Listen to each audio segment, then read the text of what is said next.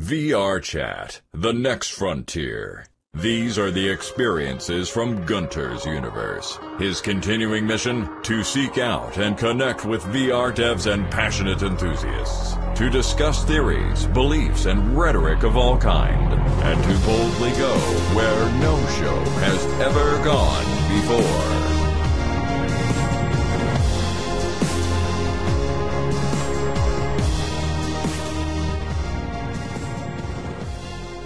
Welcome back, everyone, to Gunter's Universe. How is everyone doing tonight?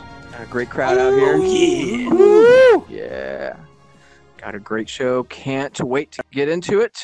Uh, my guest tonight is Rogan Griffin, lead engineer on Mythica VR by Arrowstorm Entertainment. Mythica VR is a live action role playing game set in the Mythica film universe created by Arrowstorm Entertainment. Players can create characters, quest with friends, and battle enemies with swords and other weapons in room scale using motion controls. No dice necessary. Mythica VR has level building tools similar to D&D. Dungeon masters can design maps, place items, and start encounters all inside of VR using the custom in VR editor. DMs can assume the role of any monster on the field and roleplay that character in real time there's an even handy trigger system that allows logic to be added to quests.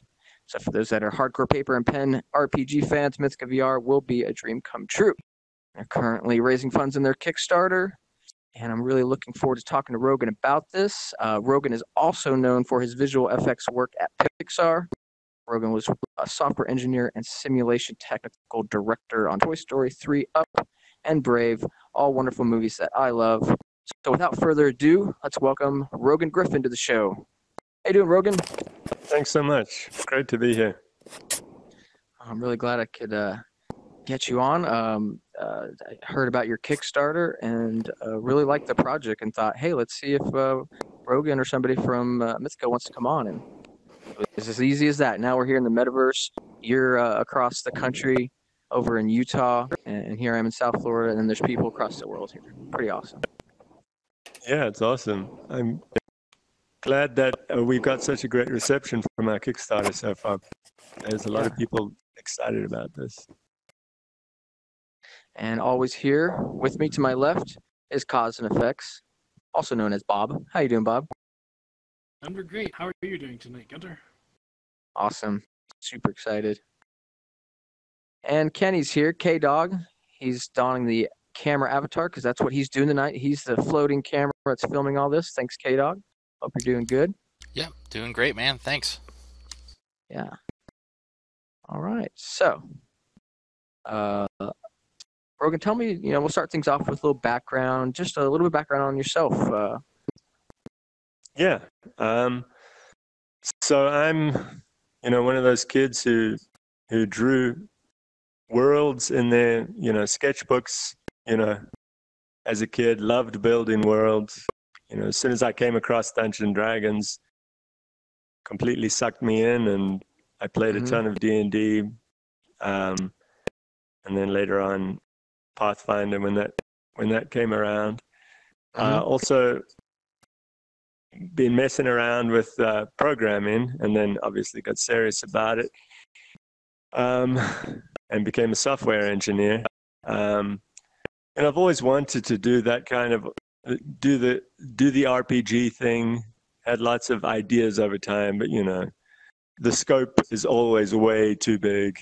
Your appetite for your imagination is always much too large for your your resources and skill set. So uh, I'm happy when a new RPG comes out and I'm like scratches a bit of that itch. Um, Mhm. But this time I get to scratch, you know, some other people's itches as well. Because I know, I mean, one of the things I hear all the time on Reddit and and on uh, Kickstarter is people are like, "Oh, I totally had this idea too. I was gonna, I was gonna Oh, do sure. this." I, I think a lot of people have been thinking along the same lines. You know, when I got uh, my CV one back, uh, I was a day one backer. You know, that was the first thing I was like, "Oh man, I want to build a, a a dungeon crawler."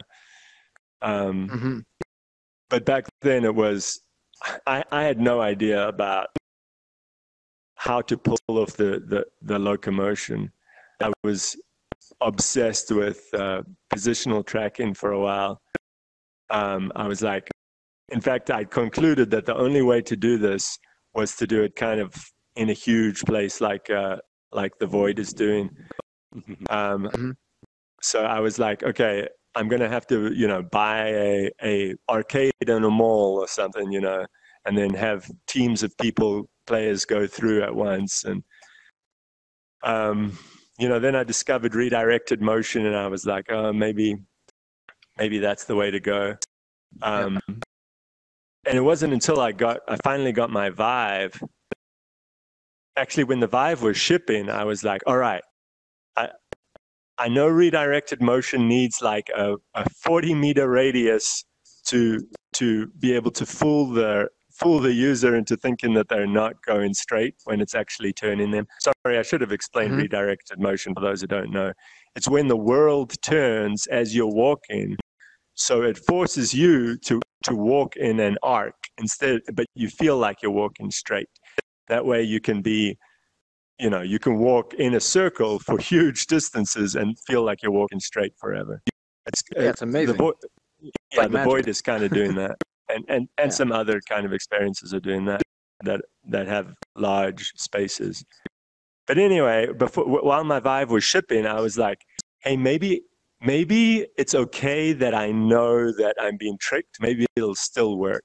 So I was like, maybe I can take that 40 meters radius and put it at like a, a four meter radius and see what happens. Uh-huh. So I, the first night I got my Vive, I coded that up, and I, you know, I, I was so excited. I was like, "This is gonna work. I'm gonna make the most awesome RPG. People are gonna be like, you solved locomotion in, in the Vive. And you know, as soon as I was done, put the headset on, and it was pretty hilarious. I, you know, I had to laugh at myself because it turned out to be like the the simulator of being drunk because Yeah, yeah. No, I've done something similar. Yeah, it, it, we, was done it here in VR chat. Uh, Q Paradox is actually one of our community members. He's behind you, and, and it was him one night. Um, uh, he's actually directly behind you, so you won't be able to see him. Uh, um, he he would turn the world as he walked straight, so it'd actually keep like hitting the the right thumb pad to turn a little bit while he's walking. He would manually redirect himself, and so a few people Uh-huh. had like manual races, like you, you couldn't actually use locomotion. You had to just turn and walk and turn and walk, turn and walk. And that was it was pretty cool. I got some effect work and start feeling it, but then I just felt drunk after that. Yep, totally. Yeah, that night when I went to bed, I was- my like my my head was just reeling because the amount of nausea I induced in that short amount of time, Oh, I only no. wore it for like two minutes. But yeah, that was pretty fun. But then, uh, you know, I tried. You know, the the next day, the first, uh, the one of the first five games I tried was um, Vanishing Realms, and as soon as I tried Yeah. that teleport, I was like, "Oh man, I've been barking up the wrong tree." Teleport is great. It just it felt natural, and and of course the the experience of Vanishing Realms when you've been waiting for something like like an RPG. You know, the the, the first time in Vanishing Realms when that when that uh, orc or whatever it is attacks you, and you put up your sword and you block it, you're like, "Oh my gosh, this is amazing! Like this is gonna change my my whole experience of of playing uh, role playing games." And you know, I knew there was no going back to tabletop games. Yeah, fact, totally. I mean, you're in the game. And this is what this is what you're doing in Dungeons and Dragons. You're in your virtual reality that you're painting. You're rendering it in your mind, and you're communicating with voice. But now, you can take away a lot of the the stuff that isn't natural to just uh, the, the world where anybody could play. Um, you don't have to know all the read the monsters manual or anything like that. Exactly, that's totally it. Yeah, Love it. we uh, we Yeah. So, uh, um, there's a bunch of different ways to take the interview. So, let me ask you a few things before we just kind of uh, go through all of Mythica. Um, just a few more background things. Um, Okay. What are some of your favorite like uh, RPGs that kind of, uh, like you said, Pathfinder and Dungeon Dragons? Is there other tabletop? Is there video game RPGs that really you fell in love with that may have led you on this path? Um, Baldur's Gate was big for me back. You know, when I played that, I was in I was in high school and played that thing to death. I, I love Baldur's Gate, and you know, that's still still one of the best. Uh, you know, even playing it now, it's still just a great experience. Um, and then obviously more recently Skyrim, the the open world aspect. That's that's just such a different way of doing it, non-linear. Yeah.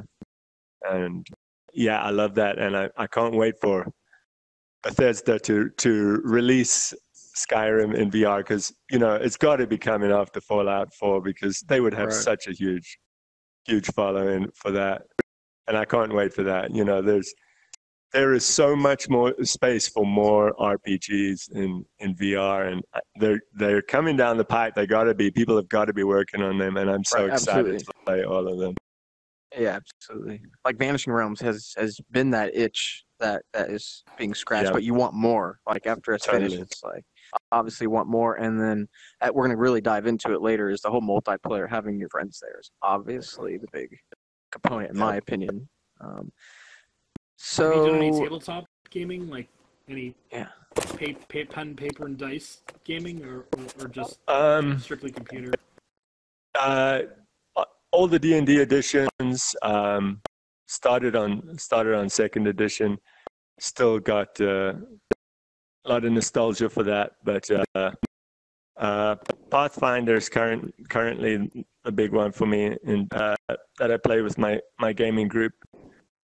Um, we're we're kind of committed to that right now um, until this until I get my Kickstarter done, and then we'll have a new a new a new way to play and something new we're committed Yep. to. um, yeah, I never, I didn't have a good gaming group. I actually really didn't have a, a, a role playing gaming group. I sort of happened uh, when I was in high school, but it really didn't pan out. So I missed out on a lot of that. So I'm looking forward to uh, these types of uh, uh, games where I, basically, you know, I, I can extend myself from South Florida into anywhere and play with people now. And I want to do those classic um, sort of pen and paper, but really I want to act out and role play the character. Uh, I love puppeting my avatar and doing what I'm doing in this scenario. So being able Yeah. to, I'll get to learn. Like I can't can't do any dungeon mastering. You know, can't be the game master. So uh, and I can't find one around here, or well, I haven't tried in a long time, but that never basically panned out. So now I can find that with Mythica. I can find dungeon masters, right? Yeah, and and the difference with with uh, like adding nonverbal communication, you know, adding this kind of experience where we're sitting here and talking to each other, you don't get that out of uh, you know regular online RPGs and and I mean people love them, people love MMOs, but adding this this element, the social element, being able to see each other, gesture, talk, you know, that takes takes away so so much of the barrier and you know allows you to make really serious friends you know w- with Yeah, people that you've never met Yeah, I mean that's it's serious. That is exactly what happened. It was kind of shocking. I didn't expect it when I got into social VR, uh, which is now years ago. But it it doesn't matter. Any social VR does the same thing. I mean, it's just it's really powerful. Hey, uh, quick thing, Flashfire, your mic's been kind of on and off. Just want to let you know. Oh, uh, let me- no worries or anything. Okay, um, I can turn that off right now. I'm just like multitasking. So Absolutely, dude. let me fix that. All right. Yeah, so I'm actually yeah, let's let, I'm ready to dive into Mythica. I'm probably gonna ask some uh, stuff about your Pixar background a little later in the show, but um, tell me more about uh, uh, like the um, Mythica universe. It's part of a five-part film series. There's a lot going on. Arrowstorm is behind uh, the films, and also other um, parts, uh, other um, media or uh, ways at getting at the universe. There's uh, a lot of Kickstarters that Arrowhead's kind of been through, so that you guys have the um, the know-how to run a Kickstarter. So yeah, tell me about that. The the, Yeah. the, the kind of Mythica, and then then the universe. I'm curious uh, what kind of universe it is. sure yeah and at Arrowstorm, we're all kind of geeks right and Yeah. we we kind of fill a niche of you know high fantasy and and sci-fi hollywood doesn't kind of provide for you know the true geeks yeah they've got to make their they've got to appeal to a broad audience, but Mythica is about appealing to those people who love true high fantasy, who love role playing. It's in in fact the first time I read the the uh, draft of the first uh, Mythica movie, I was like, "This is Dungeons and Dragons." You know, this is what it's like to play a quest. You know, you have this this party, you know, of a of a you know a, a, a spellcaster, a thief, a fighter, a cleric. You know, they go into a well, well, they don't meet the cleric yet, but uh, the three go into a tavern and are basically adventurers who, you know, this cleric is looking for someone to help find an item, and you know, they join together and and go on these adventures, and and the adventures continue through the movies, and each movie is basically like you're playing a quest of in in a role playing game in Dungeon Dragons. So it's really it's appealing to that audience.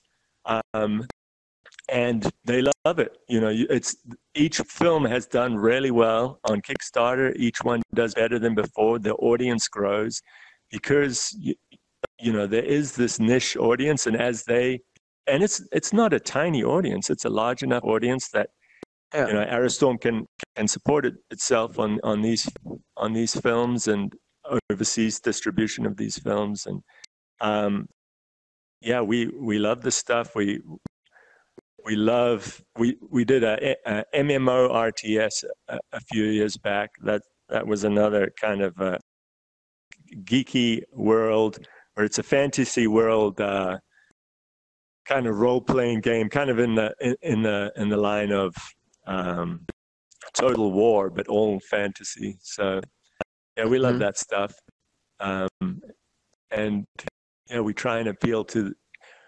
We we write it because we love it you know, and, and we make these films because they're the kind of films we want to see and, and that, you know, this, this particular audience just loves.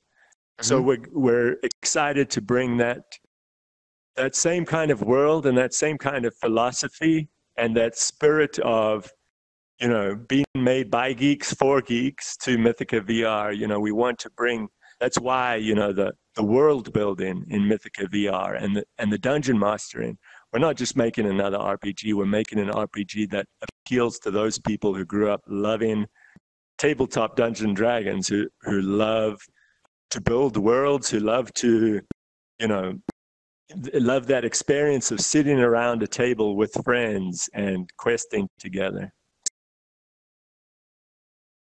Yeah, that's um that's that's really great. Um let's see so it's a little bit about Arrowstorm, and so so you guys didn't just do films, but you, you've had some success with video games past. I think Saga was the name of the the game you're working on before. Yeah, that's right. Saga was the MMO. Um, we've done a couple of uh, mobile games as well based on that that Saga world, but you know, after we got after Arrowstorm got into Mythica, the films, you know, that's that's been full time. Full time. The producers, you know, that's they also do the the screenwriting, and man, they they mm-hmm. kill themselves making these movies. They just they just started yeah. another TV series, and uh, yeah, man, I don't envy those guys their lives. They they're killing each other. I you know I I think I'm overworked running this Kickstarter, but man, they're they're putting together these films and bringing together all these people, and it, it's insane the amount of work they go through for these. So, when did the first, you know, idea? I guess when you got the DK one and you wanted to see these uh, these kinds of role playing experiences, that's when it came into your mind, or or it's when you tried the Vive and Vanishing Realm. That's kind of when it, it hit you that. Uh, yeah, it all slowly came together yeah, slowly came together over time. You know, like I said, I thought it would have to be kind of this large scale space, and Vanishing Realms is what mm-hmm. made me realize it could be done in a small space. So.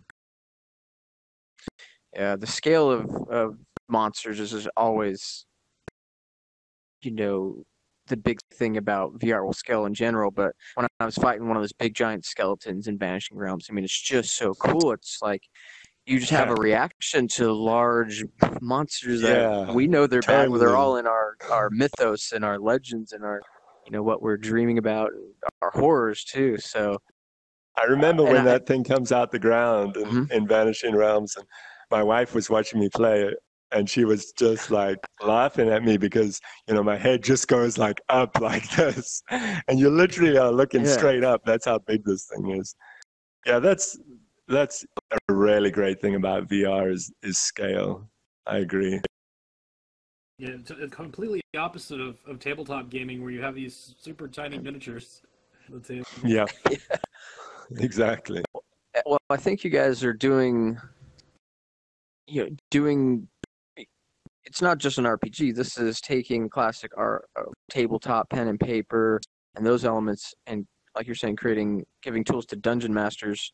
Um, this is doing it right. This is not doing tabletop gaming just in VR or in social VR, where you're still using the same boards and game pieces and dice and all of that. But this is what I think is doing it right we we've been doing it that way. Well, I wish I in my life I did a little bit more, but uh, you know, we, we we now can have the option to be inside the characters. I love that the dungeon master can embody different NPCs and characters.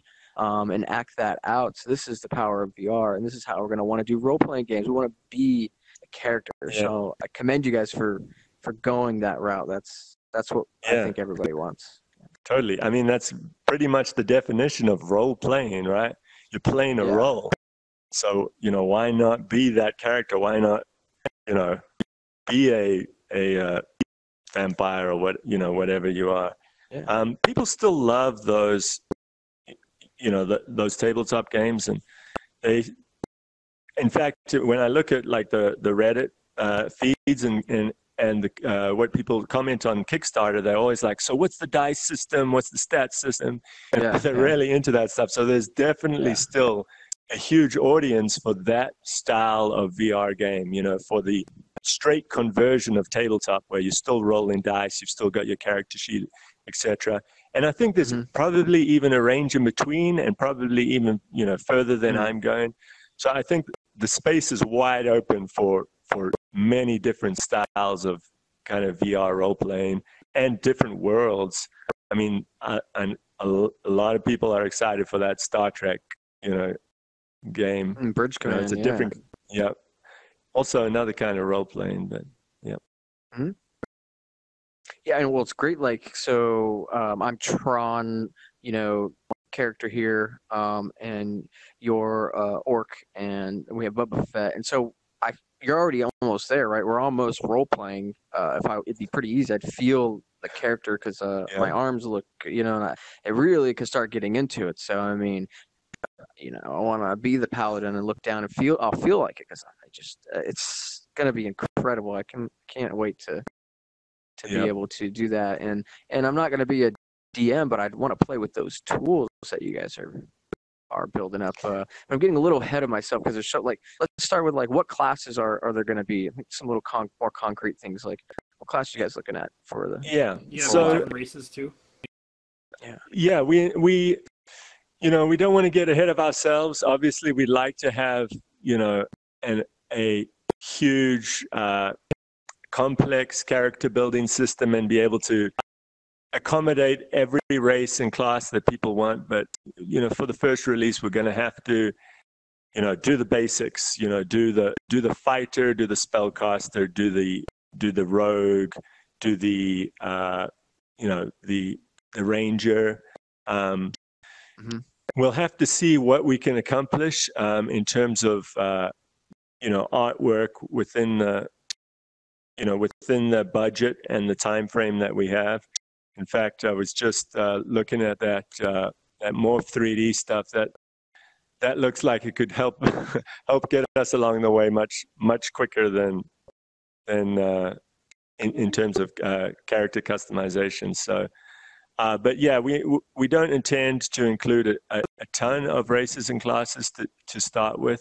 Um, I don't have anything concrete until we really get into uh, you know budgeting out the art and stuff for that. But we'll we'll include the base stuff that that appeals to the most the, the largest audience. That's great. Yeah, Is I was reading any- that you. Please, Bob, go ahead. Is there going to be any like?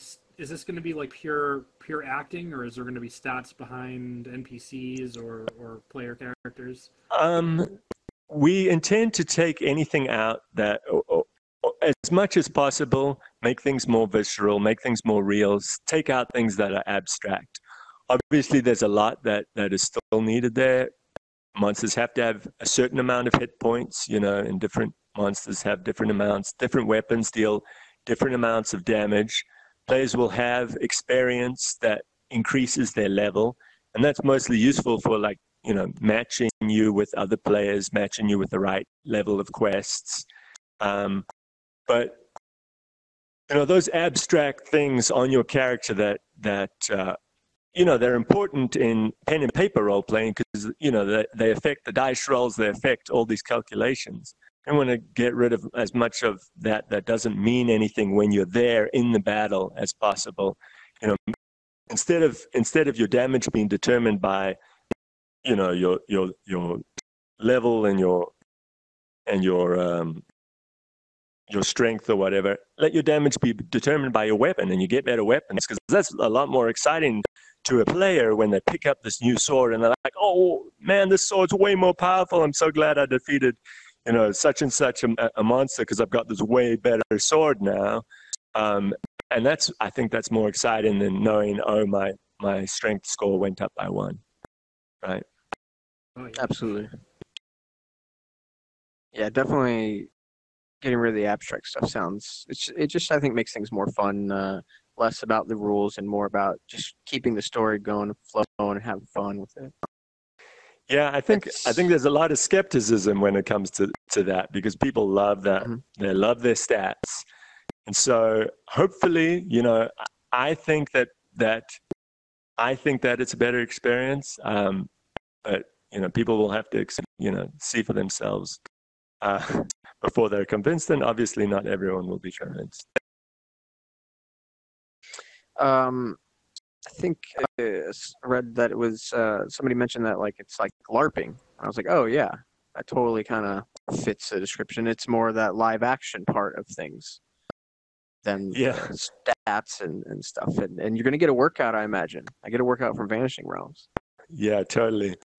And when you're playing with others, I think you you drive each other. So I think you'll get it even uh, even more of a workout. You know, when you when you're questing with the party because you push each other forward.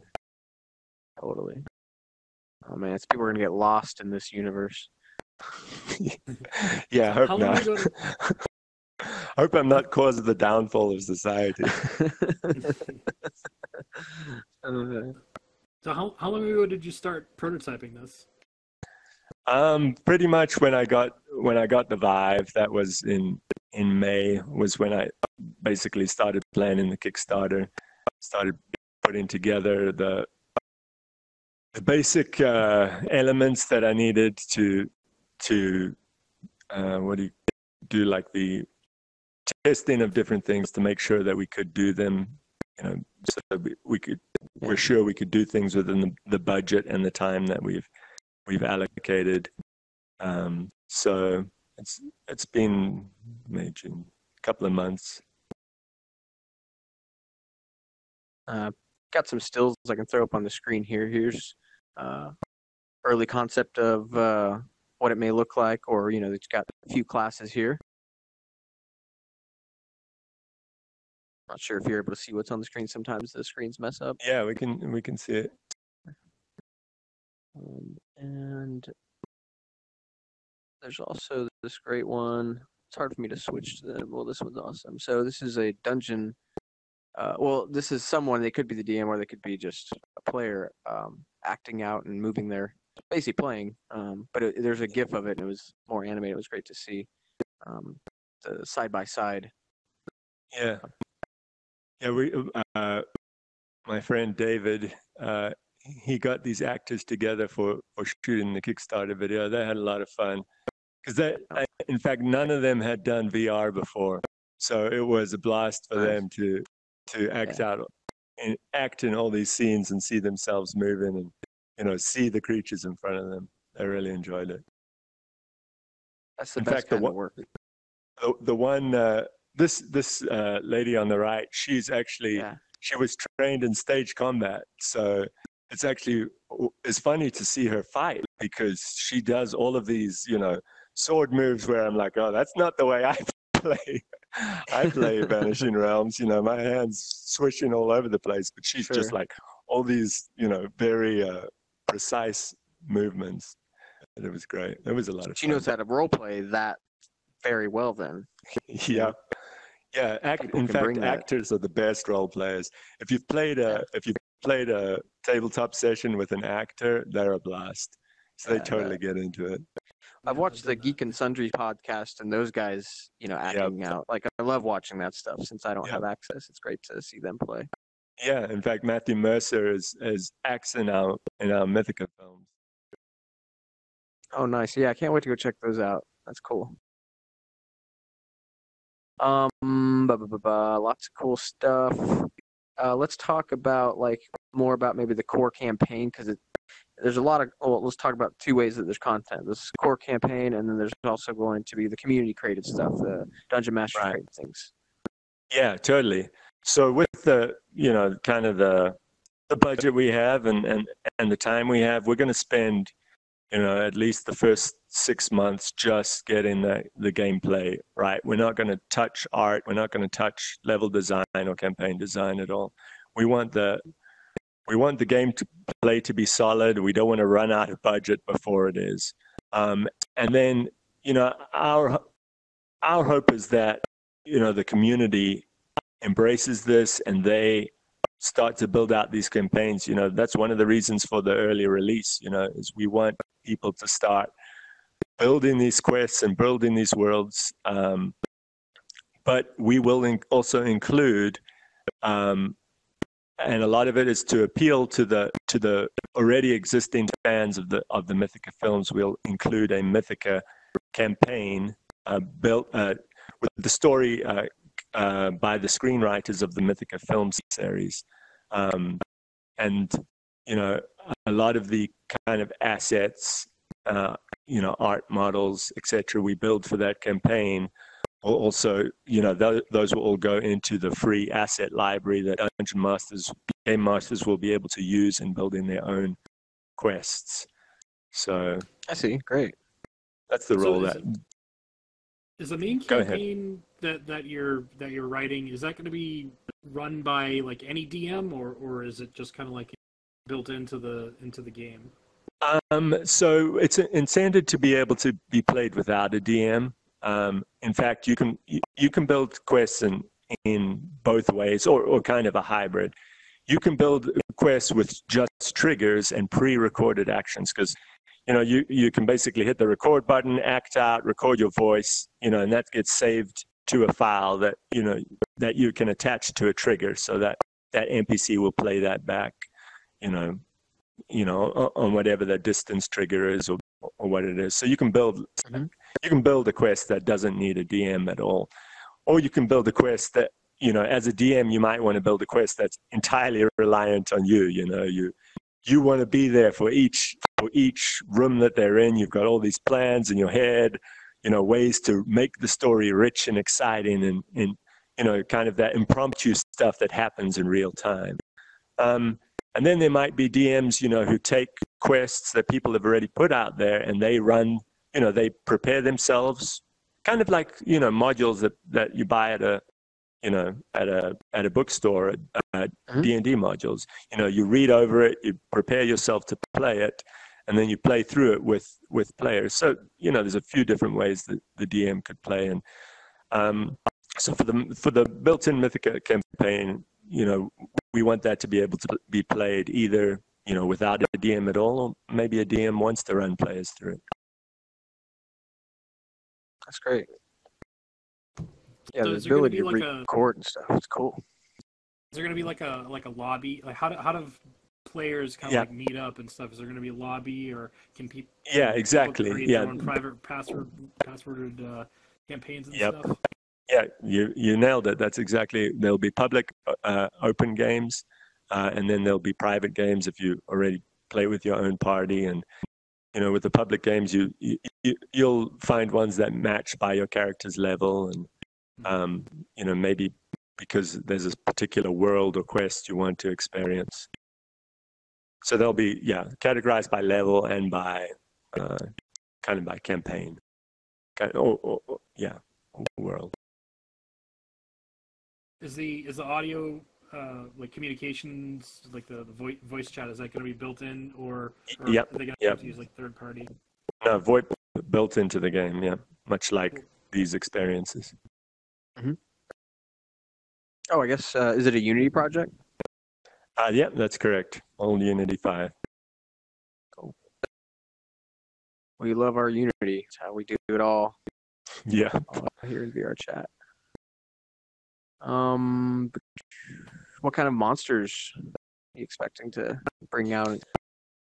Um, that will depend. Sure, it's too early, but any yeah, thoughts? Yeah, that'll that'll depend on on on art. But one of the cool things is that there are rewards in the uh, in the Kickstarter where people can you know design with the artists their own you know the monsters that they want in their campaigns um, Yeah. so hopefully we get we get a few people taking that reward and then they can choose if they when they're ready to release those monsters for all the D, for all the uh, game masters to use but then of course we'll we'll That's a have great reward. uh, yeah we'll have um, monsters uh, that come with the with the mythica campaign So are you still in like the, the prototyping phase, or is uh, any any other like parts of the game completed yet? Uh, no, we're definitely definitely prototyping. You know, the none of the devs are are full time. Uh, we're all just hoping that this Kickstarter succeeds so that we can go full time, and and then uh, yeah, we'll be we'll be full speed ahead.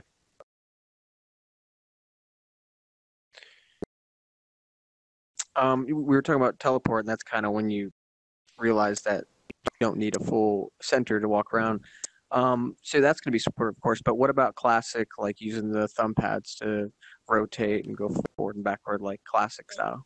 Yeah, we'll we'll definitely support uh, gamepads, and you know I'm a huge teleport ev- e- evangelist, but um, I know people love their gamepads, so we we Yeah. definitely will support that, and of course, like the Omni needs that.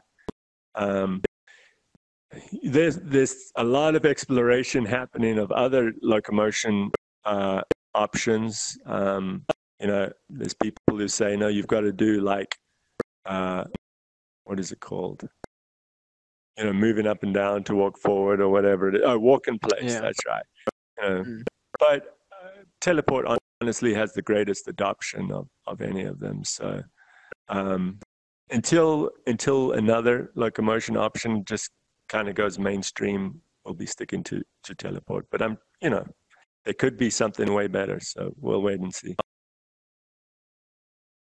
I'm glad to hear there'll be traditional. Like, there's no reason to not support that, but sometimes some developers, Oh yeah. Yeah, uh, you super know, straightforward. yeah, it's good. So Um, the in the in the VR editor, can more than one person be editing a, a campaign at the same time, or is it just going to be like one? Um, it's a good question. We, we we don't intend that right now. I mean, it all depends on. It, it depends mainly on uh, kind of real time editing of the, the the file saved as a JSON, you know, in a, a JSON structure. We could do kind of. Uh, what is that called? Delta, you know, Delta type edits to that, you know, that are synced between people. But right now, I think I'll keep it simple and I'll say, no, only, you know, only one person can modify that that file at a time. But we'll we'll see what happens. so so that means only one during during a campaign, only one DM at a time. Um, during the campaign is is slightly different because we don't we don't need to save that out. Um, you know, that gets synced to to all the different players just through the regular um, Unity network. So I guess you could do two you could have multiple DMs. DMs. Yeah, I just haven't thought about it. That's a good question. something someone else came up with that I think is a really good idea. Someone on the Kick in Kickstarter comments is allowing uh, players to enter a campaign just as a monster you know, and they only get the hit points Yeah. that that monster has. And as soon as the, you know, as soon as they're killed by the players, they're dead. But to just have like randomly one of your monsters suddenly become super smart, that sounds like uh, that sounds awesome to me. Like, and also Oh, would be yeah. fun just to be a monster for a while. You know, just in in a random Yeah. campaign that you join and give the players a hard time. Yeah, like uh, free reign to troll. Yeah, or, or kind of like the uh, the people who volunteer at Halloween Horror Nights, you know. Yeah, that's what I was. Yeah, thinking. totally. Yeah, I've been looking forward to like I don't know, I don't know why I call it, but people-powered, you know, games where there isn't the NPCs, they're actual real people. Um, whether the company's paying those people to, to almost staff those positions or or whatever it would be, community and stuff. And it's what Yeah, we do here, social VR. Just it, it's all coming together. I think a lot of this stuff. Yep, the next Second Life. So in, in the video, Um, there was like an animated, or on your page, the, the Kickstarter page was an animated GIF of like uh, setting up boxes and stuff like that that the that the DM can set up. So what what type of um of props will dungeon masters be able to to set up? Uh, yeah, so so we'll have a few different environments. So yeah, let me explain kind of the, the difference between environments and props. Um, we intend to to to include a number of different environments. It won't be a lot. Uh, it'll it'll be enough for some variety. They may be like uh, one environment could be like the mine environment. One might be like the the dungeon environment. One might be like a, a forest environment or a or a city environment. So what an environment is is the game is very modular. So it's it's basically room by room. You know, you build a room, you build the doorway, and that automatically creates another room. You go into that room, you set the doorways for there. You know, very roguelike. And that's the way that kind of keeping it very modular and and basically not loading anything but the room you're in and the room before and after. That's how we make it work on mobile you know that's how how we we can make it work hopefully as well on mobile you know in terms of performance as it does on on pc and what we can do on mobile is the environments automatically will we can say no we don't want uh, you know displacement maps or we don't want we want much lower resolution textures automatically. And we we can focus on just those making those environments scale really well on different Mm. devices. Because we, we can't build skyrim right? We don't have a huge number of artists who can build this entire world and build a new you know entirely new assets for every location. So the way an environment works is like for example if it's a dungeon as you scale it you know it'll automatically say you know we want a pillar at every you know x feet or whatever.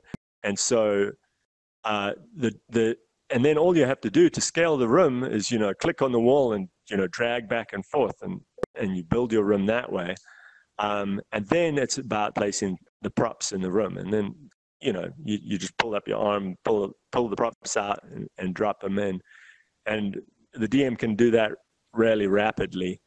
Um, and uh, yeah so that's we'll include a few environments. We'll include you know what props we need for the mythica campaign but we're hoping um, other dms you know will will help to supply kind of the way like Roll20 works where you know the community is supplying a lot of the the artwork and helping each other out and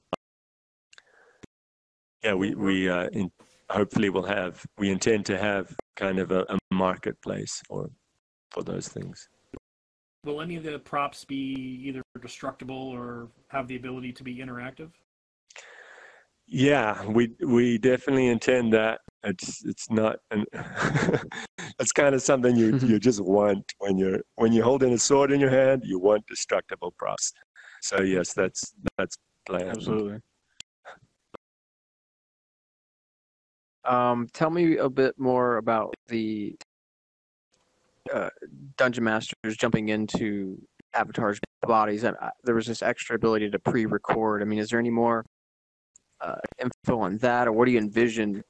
Uh, doesn't matter. Um, Masters doing yeah. a combination of them pre-recording and live, or yeah, um, I think you know some for for the quest where you don't have a live DM, you'll want to have some things pre-recorded. Maybe even you know if you've got multiple multiple NPCs and they've got to be talking at once, you'll want to have pre-recorded some of them.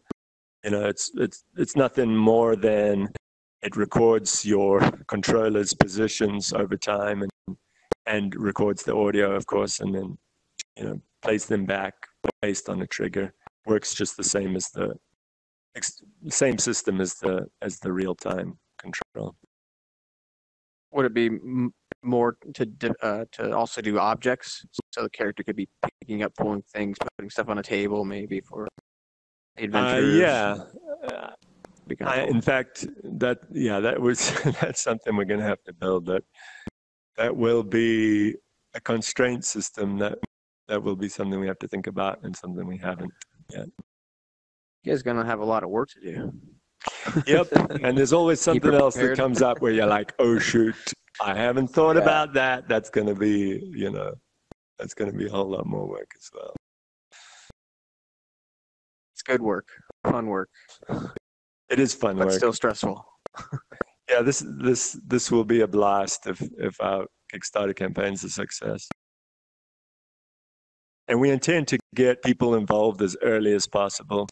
You know, I, I say the early early uh, early release in in December, but you know, if it's up to me, I'll get I'll get people into that game. You know, as soon as it's playable, no matter how janky and ugly it is, because I know if it was me, I would want to start as soon as I can. You know. Yeah.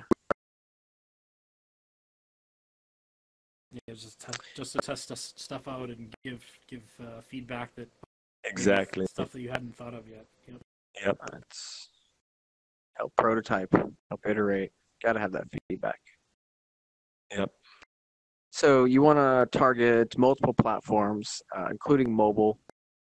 Um, you know, Google Cardboard. Uh, I, is the PC version going to be exact?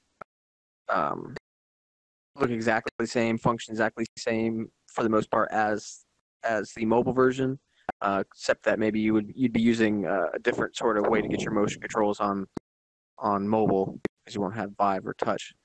Right. Yeah. And we wanted, the thing is, with your gaming group, only like one or two people is going to have a Vive or an, or an Oculus Rift, you know. You're not going to be able to play with your gaming group unless you've got a really accessible a, a- way for them to ac- access VR really inexpensively, and that's why the Google Cardboard support. You know, it's almost kind of a personal decision. I have a gaming group. I know they're not going to put down fifteen hundred dollars for for you know PC hardware and VR and a VR rig. So that's why I was supporting Google Cardboard. Um, we're kind of in terms of uh, gameplay. Yes, we intend it to be uh, as close as possible between them. Like I described before, we'll be scaling down the shaders, scaling down complexity on the mobile device so that it performs as well as possible on the mobile device. Um, but then we kind of came up with maybe someone has come up with it before. I hadn't come across it.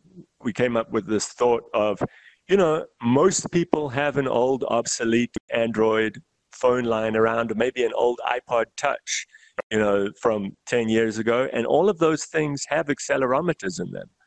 So why not use those as motion controllers? So that's that's how we came up with that. You hold two motion controllers in your hand. You know, it's it's it's much closer to to the Vive experience than holding a you know a Bluetooth controller in your hand. Yeah. So, and we want to we want to make the experience similar. You know, for for all the players playing. So we'll support you know Bluetooth gamepads, but you know I I'm going to you know push for people to use the uh, motion controllers instead. Plus, I think Google Day- Daydream's coming with uh, you know motion Yeah. controllers, and I've seen you know th- they are there's Bluetooth motion controllers that I've seen online announced and ver- announced by various companies. So I think it won't be long before there's motion controllers for mobile, and um, Mhm. yeah, we we intend to support those. Yeah, So- hopefully, we'll be hearing more about Daydream soon. Yeah. Um, with if Daydream only supports a single controller, will you you change the whatever um, scheme it is to be able to support that, or Um, yeah, if, if if it's if it's single controller only, um, hopefully you ju- would just use another phone. Then oh, okay, um, you know you can you can uh, connect that phone in by Wi-Fi. So use your Daydream controller in one hand, and for your Shield hand, use a you know just accelerometer based phone. so so people who are playing kind of like on the same network, will there be support for you know say two two people each have cardboards and two phones and, Yep. and e- um, Yeah, it'll be cross-platform, uh, you know, between PC and, and Google Cardboard. You, you know, it has to be if you want your, if you want to play with your gaming group, you only have Google Cardboard, and you've got your Vive. You don't want to have to go to Google Cardboard just to play with them. Right.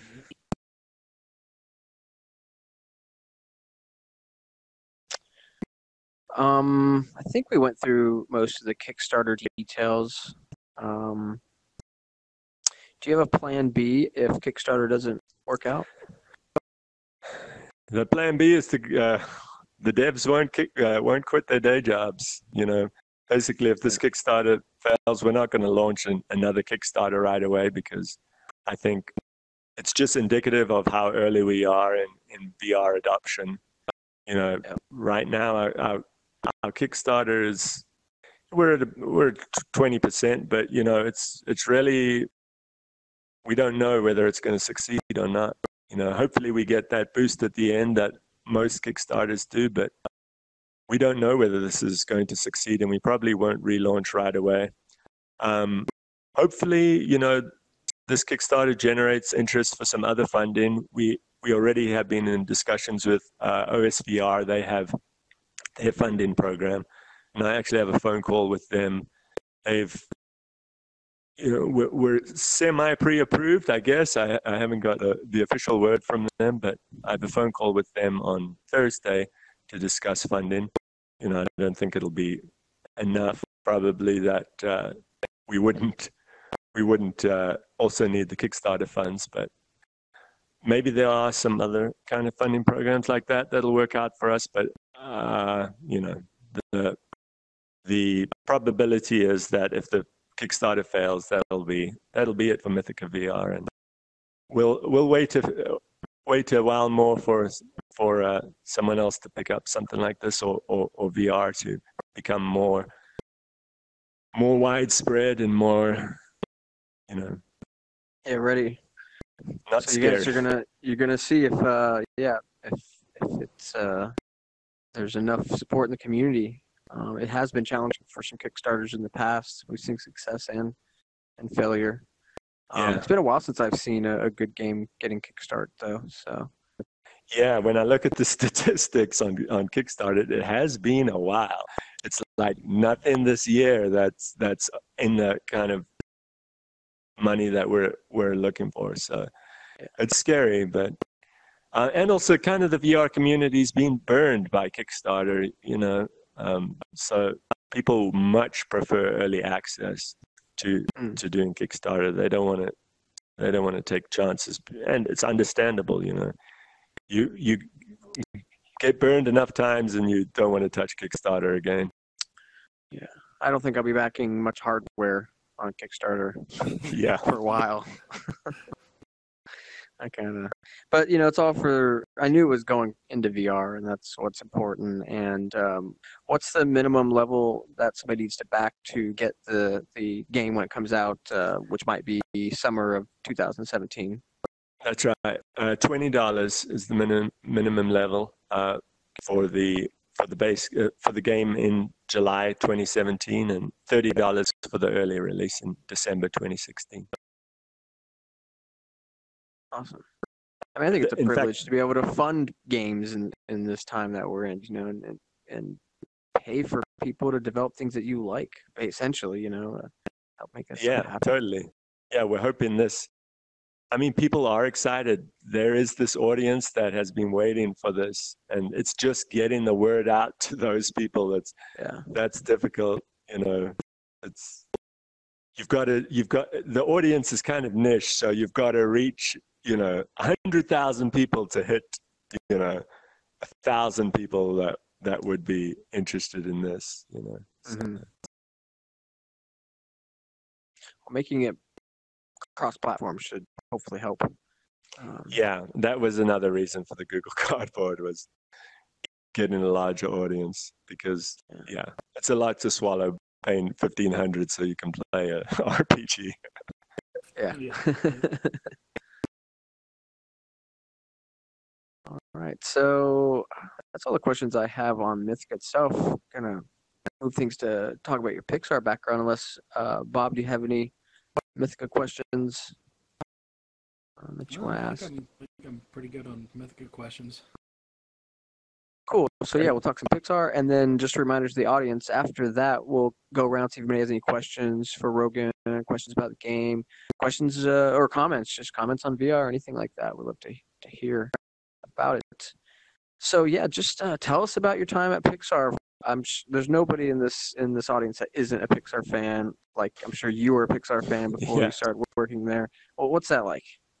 Uh, it it was great. Um, I was super excited, but it, it's funny. Uh, we always say at Pixar, it's like because I was hired out of college. Like, in fact, most of their hires, you know, you you hired right out of college, and it's like, well, where the heck do we go from here? You know, every company's worse. but actually, where funny. a lot of my friends have gone into into VR, uh, like that Oculus Story Studio. I mean, that place was stocked with Pixar employees. You know, Yeah. that uh, a lot of a lot of my friends have joined Google to to join their their VR programs. I have a good friend who uh, who uh, joined Magic Leap, and I've been been trying to get information out of him. So Yeah, yeah. It's such a secretive project. I know it. yeah so so yeah from pixar we go we we've ended up in, in a lot of different vr projects and it's indicative Yeah. you know of, of what vr is going to mean you know that because you know that's what happened at pixar. All these smart people in the beginning came together and they made they made you know something that was greater than the, the sum of its parts. You know they took all of this technology and they made stories. They made you know they made toy story which you know it, it, it was mind-boggling that that could be done on the computer and until all these smart Yeah. and creative people came together you know and the same thing will happen with, and is happening with vr Yeah, absolutely. Uh, story Story Studio is really cool. I hope to get somebody on from there in the future. They're definitely on my list to, to talk to. Um, and so you worked on. Uh, yeah i started i titles that we started on uh, i started on up. Uh, that was that Mhm. was my first film. I worked in uh, in uh, both the uh, the rendering department there and then i moved on to onto simulation. So simulation on up was mostly uh, cloth and hair and and uh, feathers. Um, after that i went on to toy story 3 uh, where i did effects. So um, uh, some of the things I worked on were like uh, let me think the dandelions that that uh, Buzz is holding when when you'll you have to know the movie really well to know the Yeah, scene. I'm referencing that when uh, when he gets hugged by Jesse and the, the dandelions float off or the or the rope or the microphone cable that Woody uses to uh, to uh, c- capture the the monkey the cymbal monkey as he's running away um, Woody uh, Buzz's laser. I did Buzz's laser in that film. Uh, so that was uh, effects on Toy Story 3. And then I went on to Brave.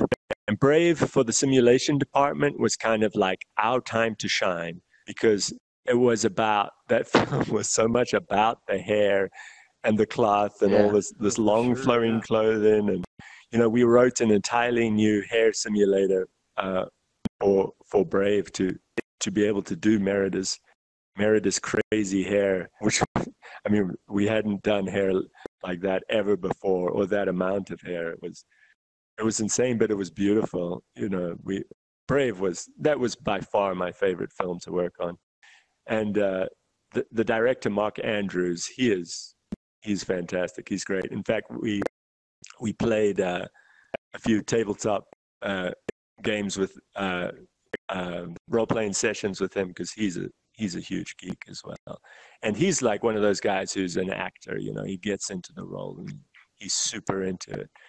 Um, in fact, he's going to be he's going to be excited about Mythica VR. I, I really need to get him playing it because that's just this kind of thing. In fact, at, at Pixar, he uh, he was trying to get into kind of the the motion captured cameras, you know, and and rapidly uh, creating scenes um, in you know in virtual reality. Although you know it's not it's not like headset virtual reality it's more like you're mm-hmm. holding the camera here in your in your hands and you know but you can see the virtual environment around you and okay. he's super into that kind of stuff I mean, um, VR is such great for prototyping. I, I was just in Tilt Brush last week. I drew my set here, and I was playing with it and started adding things and just, you know, yeah, it, totally. so accessible and, and using it as a prototype tool yeah, I think we're only seeing the beginning of the creative tools that are going to come out of VR. I, you know, I think that is totally the future of of 3D filmmaking, and all filmmaking is going 3D. I mean, if you saw Jungle Book, you know, that whole film, except for the boy, that's all just a 3D animated film, and and uh, you know, and merging those worlds of the interactive, you know, stories with the you know the the pre-made stories that I think VR brings so much together and and gives such a, a new experience. You know, it's it's going to be amazing to see what comes out of this. We we can't even imagine. I know we we, we try, but we can't even imagine what it's going to be like. You know, in the future, we're we're, we're just we're trying to peer over like a yeah, like an event horizon. You know, we're we're moving towards it, but uh, we can only us prophets. I don't know. I wouldn't call us prophets, but us pioneers that are just have our faces in this all the time, kind of kind of can see it. It's our job yep. to bring it back, let everyone yep. know that there's this gold waiting for everyone. yeah, totally. That's great. Anything else uh, that might blow us blow our minds with Pixar? I don't know. What was the offices like? Uh, it, it's funny. You watch those DVDs, right? And you're like, wow, the Pixar yeah, yeah. employees, they get to design their own offices. It's so great. What they don't tell you is that's the animators only, like the uh, people who actually move the characters because they never get moved around when the because they're like a such a co- cohesive department. They don't do anything else. They just animate. They never move to an, another department. The rest of us, the te- you know the the technical people, we get moved around a ton. So we move offices every film. So we can't decorate our offices all awesome like like they do. We're, we're super jealous. Yeah. There's, there's definitely a hierarchy. Like they're the, you know, they're the actors of Pixar. You know, they're the mm. the, uh, and we're the we're the crew. So. Gotcha. Typically, how long does it take um, for Pixar to, to put a movie out before they are on to the next one? A long time, a long time. Uh, you know, f- five years, four or five years. Brave was seven years. The film was a wow. long time in the making. Yeah, Pixar does not. Uh, they don't hold back in their creative appetite at all. They spend a lot of money on those films, and they spend a lot of time. Um, and yeah, that's kind of one of the reasons why some of these, you know, studios who can put films out more rapidly, like the uh, Despicable Me studio. Um, uh, what are they? Illumination. Is that DreamWorks or is that? Oh. Uh, that's a, a, Illumination. They're a French company. They uh, they make as much money as a Pixar film, but they make it for a whole lot less because you mm. know they don't have that insatiable creative appetite to make every little detail perfect. And some people appreciate, you know, the detail that that put into Pixar movies. And honestly, some people don't. Like I have a brother who's just like he couldn't care less. He he, you know, he shows his his, his kids watch Inside Out, and he was like, "My kids were so bored of bored by that movie. Why can't you make funny movies like like DreamWorks does?" And it's just like, oh so man. annoying. Yeah, yeah. You know, Pixar's the cream. Pix- Pixar sets the bar. Like you said, where do you go to work after Pixar without? yeah. yeah. Um, So where it you might go makes to me think of work Valve. Um, I I left Pixar to come back to to Utah to work on uh, a, a couple of projects. Obviously, this this VR one being one. Another one is kind of a uh, it's kind of on the back burner now. I, I tried to raise funding for it, um, just regular venture capital funding, more of a it's kind of a web-based uh, animation pipeline, more in the lines of, of what I'd been doing at, at Pixar. But that's kind of on the back burner. But my full time, full time right now, I'm I'm, I'm doing uh, just web development, doing uh, you know regular old software engineering, but Mhm. trying to quit my day job and, and, and do this instead. Oh man, I wish you lots of luck with the Kickstarter and to do your dream to work in VR full time. A lot of us want that, and I Yeah. can't wait to see. I mean, I see success, and I love seeing more and more of it. Yeah, thank you so much. So you you're in Utah now. Have you, have you been to any of the Salt Lake City VR meetups? Um, I haven't yet. I've I've uh, bugged them for uh, people to help me with my uh, Kickstarter campaign and and uh, like shooting that that VR shoot I did. But right now I'm just taking, taking, taking, and not giving anything back. So hopefully soon I'll be able to I'll be able to give back rather than just consuming, sucking people's lifeblood.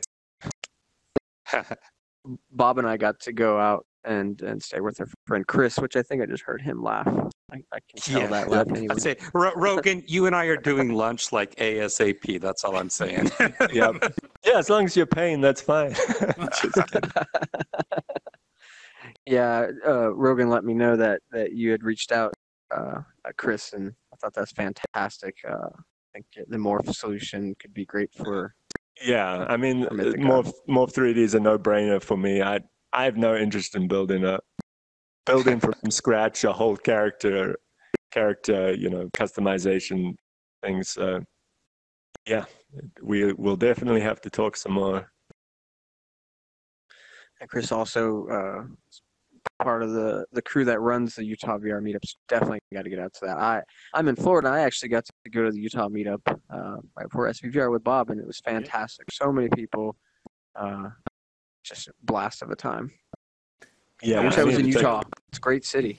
Yeah. I wish you were here too, man. Mm. So when we were there, we also got to try out the Void. Have you have you tried out the Void yet? Yeah, I went through the void. That that was uh, before I'd ever tried the Vive. So that full positional tracking was mind blowing. And honestly, having the walls there makes a big difference because Mhm. you lean on those walls and you're like, yes, this is real. This is here. I'm leaning on this wall, and you you know you don't realize how much you do that. But like when you're going around a corner, like you hold on to the corner. You know, you hold on as you as you peer around and stuff. And yeah, it it it's an amazing experience, honestly. And um, I haven't, you know, it's hard to be objective about it because I tried the Vive later. So, you know, it'd be interesting to go back now and, and, and see now that I've, you know, spent a lot of time on the Vive and know what, What was your experience? feels. A few of them. Um, s- sorry. Sorry. Like, what was the experience like? There- There's an alien experience. There's like a Oh Indiana yeah, Jones um, Aztec. yeah, mine mine was the alien one where you go out on the ledge and and uh, you know you've got that that kind of cliff vista before you. And, Mhm. um, yeah, that, that's the one I did. Cool. I, I didn't get to try that one. So there, I think what might what was uh, set up when we went there was uh, like the Indiana Jones sort of temple, um, serpent's eye of the serpent. We can get Yeah, and that was really cool. So you could, you know, you should definitely go check that out. If I was local, I certainly would. Yeah, I definitely I plan to. But when you when you talk with Chris, he's the man. He's I think he goes there once a week and just rides everything again. His cotton Meditation. candy. yes. Meditation. All right. Well, uh, think that's pretty much what I got. Audience, uh, any questions, thoughts, comments? Uh, feel free to chime in. Are you going to Uh, Oculus Connect 3? Um, I'm already committed to too many conferences. I can't, you know, I can't do any more. Um, it's a great. Sorry, go ahead. I was going to say, what con- what conferences can people find? I'm in Utah in October. I'm doing two conferences. I'm doing uh, um, software developers conference, and I'm doing FearCon, which is kind of a Halloween sort of conference. I'm hoping it's an a opportunity to uh, pre pre uh, get pre-orders for the game. Uh, both of those will be after the Kickstarter, which isn't ideal. I'd much rather do it right now and get uh, interest in the Kickstarter, but yeah, I shouldn't. I shouldn't commit to any more because I need to be heads down if this Kickstarter succeeds. Any other questions? Yeah. So, um, um, I, I'm like suddenly very interested in watching those Mythica shows now. where Yeah, where do we go for that? Um, let's see. There's uh, the probably the easiest way is just to go to Arrowstorm's website. Go cool. to But I know they're on.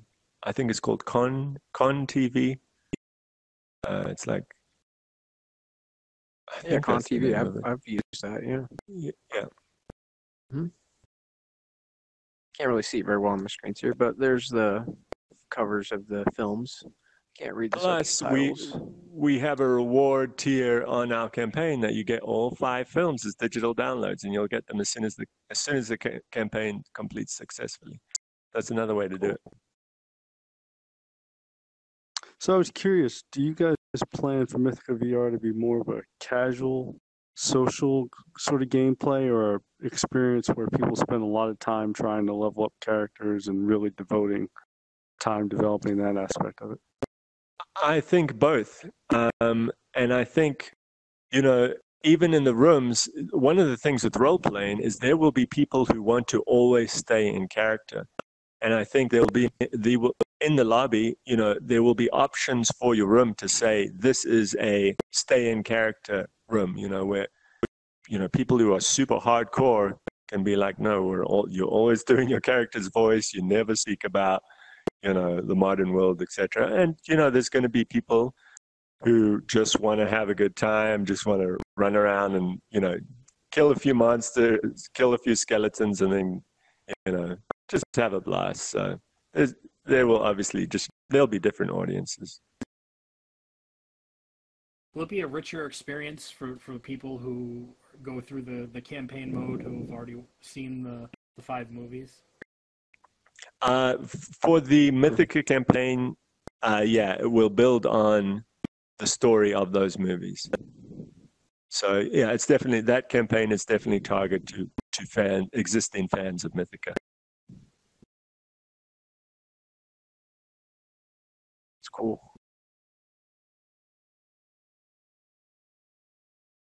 Um, uh, the actor that played Hercules in the '90s is he in these films, or is he just kind of part of the Uh, yeah. stuff with the studio?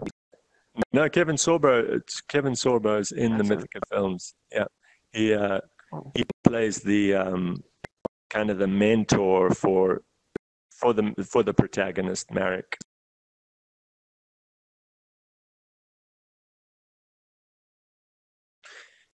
Uh, any other questions before we wrap it up? Last chance. So I know, I'm just going to throw this out Sorry. there. I- You know, Yeah, so I, I, I know you guys are, you know, focused on uh, sort of high fantasy and that sort of thing. But you know, depending on how you build the system, it could have a lot of applications for other themes. Is that something you guys are considering leveraging whatever you do here so that people can build other worlds? Um, so for the game itself, there will be a mod system. So uh, you'll notice in our Kickstarter campaign, for example, we have a stretch goal of building an entirely new world. and that will be that will be voted on by the players. So that might be like a gothic horror world, or it might be like a a western steampunk world, or it might be you know another another Mythica campaign if that's what people are interested in. So the game is moddable, and and people will build you know you know whatever whatever floats their boats in, in, in terms of settings and worlds. Uh, I expect to see, you know, a lot of those, but we plan to only release one kind of setting unless we hit our stretch goal. Hey, Rogan, can you comment on the avatar that you have right now? Like, yeah, this is from the game. No, this is a, a free avatar from Mixamo. Um, ah. In fact, all of the avatars that we use, oh no, not all of them, sorry. A lot of the avatars we used in our in our uh, Kickstarter video were all free avatars from Mixamo. They've got they've got a great free. Once Adobe purchased them, they were like, "Hey, here, have everything for free."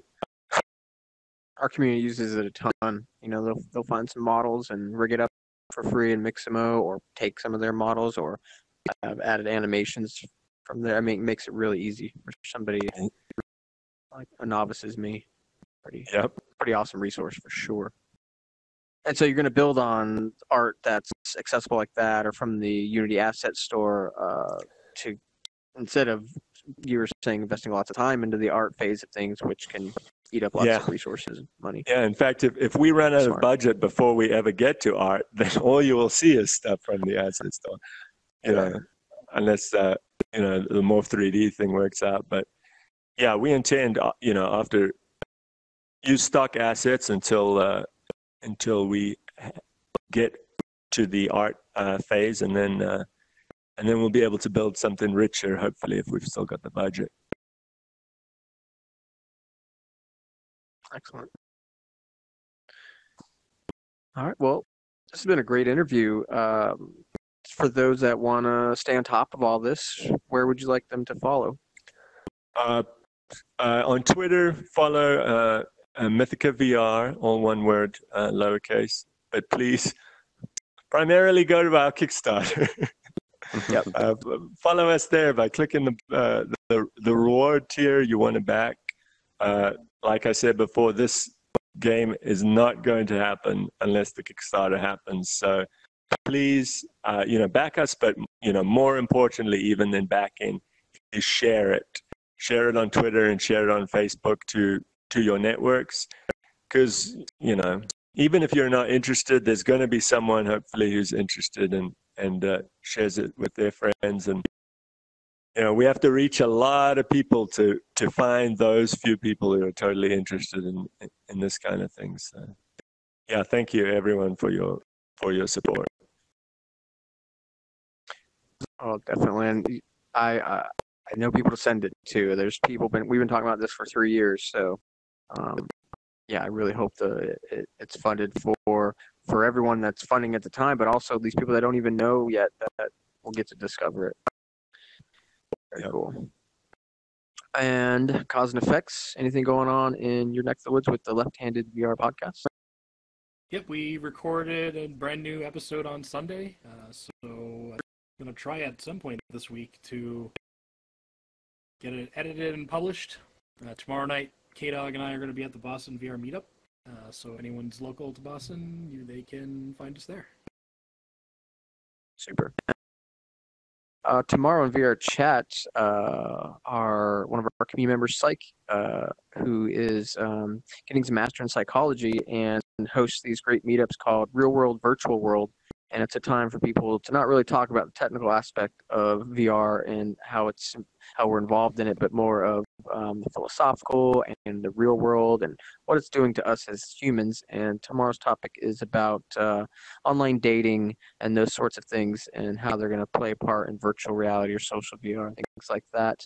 So come out for that. That's at 8:30 Eastern, so around eight eight o'clock Eastern. Uh, or five o'clock, or just after kind of work gets out and on the West Coast, stop on by. We'll be hanging out for a while, so if you're late, that's no big deal. uh, and Um, then come sorry, out uh, on. correction, uh, Gunter. Uh, it's at Yes. 9 p.m. Eastern time uh, for the Okay. um, for Real World Virtual World tomorrow. Yeah. Uh, did he just like change that? Because that he told me 8:30. We we we changed. He must have misunderstood. We changed it to 9 p.m. because uh, prior to that, at 7:30 uh, is going to be the um, bowling uh, bowling night. Okay, cool. Bowling and uh, meetup tomorrow. So come come hang out. It's lots of fun. And then of course on Sunday, we've been doing our our VR meetups there for a long, long time. That's when the community gets together. New people come out. It's really good stuff. We see what community's been working on as far as rooms and avatars and neat stuff. Uh, so there's two. There's one for, for Europeans, um, which is oh, one o'clock Eastern time. I, I'm not sure all the different time zones, so you don't need to convert. And then our um, U.S. Uh, friendly uh, meetup is at 6 p.m. Eastern, 3 p.m. Pacific. Cool. So that's VRChat. Just come hang out, find us. We're here, uh, and we'd love to hang out. Uh, really appreciate uh, my guest tonight uh, and everybody that came and showed up, and of course uh, Bob and Kenny helped me work the show. That's pretty much it. If you want to stay tuned with things that are going on here, follow me at Gunter's Universe and go to guntersuniverse.com to sign up for the newsletter. Thanks everybody for watching. I'll see you next week. Good night. And boom. There we go. Yeah. Thanks, everybody.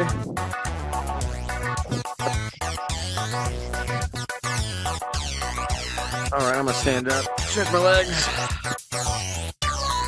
Yeah.